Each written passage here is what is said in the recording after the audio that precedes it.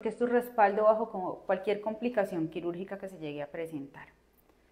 Eh, presentándose una infección, un seroma, necesitemos un traslado, eh, una interconsulta con algún especialista después de la cirugía y siendo complicación de esa cirugía, la póliza nos va a tomar o nos va a respaldar bajo la eventualidad.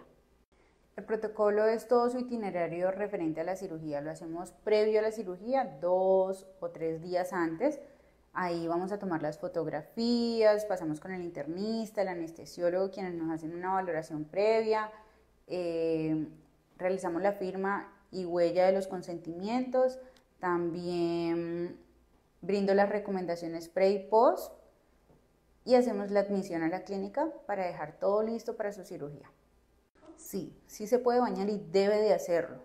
El baño deben de hacerlo evitando mojar las curas, uno les da las indicaciones muchas veces de, cubrirse las heridas con papel vinipel, eh, haciéndolo en una silla eh, y con ayuda de, puede ser de la enfermera o de alguien en casa.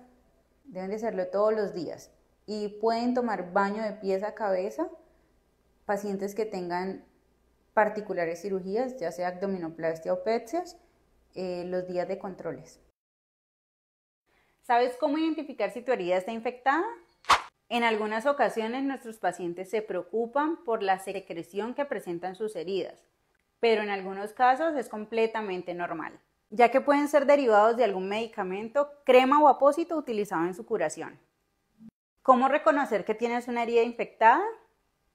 Es importante identificar algunos signos y señales de alarma entre ellos ardor localizado, enrojecimiento, fiebre, escalofríos.